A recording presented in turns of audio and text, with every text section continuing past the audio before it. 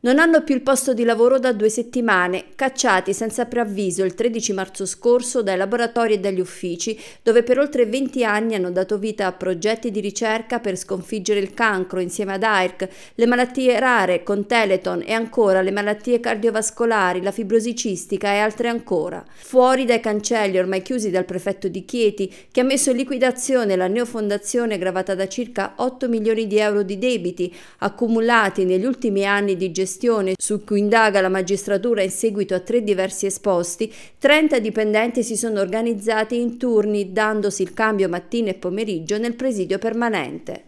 Tra acqua, caffè bombolette di vernice spray affettano anche una colomba pasquale che offrono idealmente al presidente della regione Abruzzo, quello stesso Luciano D'Alfonso che in campagna elettorale promise di tornare nell'incontro con una parte del personale. L'intervista rilasciata al TG Max il 17 febbraio 2014. Oggi sono venuto, tornerò a fare un incontro anche di dettaglio con tutto il personale e poi voglio assumere impegni precisi per poterli mantenere nel dettaglio non poteva mancare una fotografia, una presenza qui che è un luogo bandiera della ricerca e dell'innovazione dell'Abruzzo.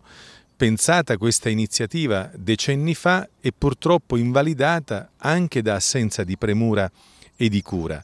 Noi dobbiamo sapere che la competenza di chi ci lavora, se aiutata dal supporto di chi ha responsabilità istituzionali, deve tornare a fare risultati. Anche perché l'economia nella sfida internazionale della globalizzazione o è capace di produrre qualità, altrimenti è soccombente.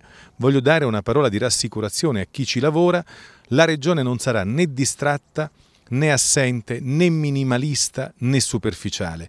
La Regione farà valere tutto il suo potere anche di protagonismo istituzionale, sia nell'interloquire con le agenzie nazionali destinate agli investimenti, sia con gli istituti anche nazionali che fanno ricerca. Noi non vogliamo che realtà di questo tipo che vengano dal passato nel futuro non abbiano la forza di vivere e di svilupparsi.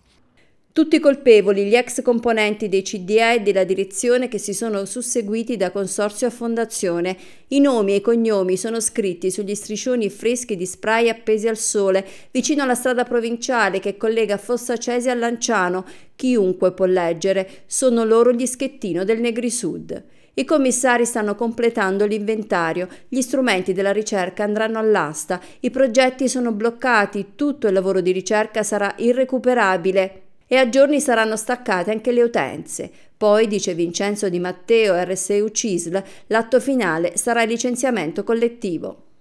I progetti di ricerca in corso sono stati tutti bloccati, purtroppo come già eh, noto, eh, quindi tutto il materiale biologico eh, ormai è stato abbandonato, completamente abbandonato, non so che fine farà, si dice che fra qualche giorno toglieranno anche la, la, corrente elettrica, per cui io non so, eh, non so come potrebbe andare a finire questa storia. Tra l'altro ci sono ancora nello stabolario una ottantina di topi che non so eh, che fine faranno. Gli animalisti ad oggi non si sono ancora visti? Beh, gli animalisti non si sono ancora visti.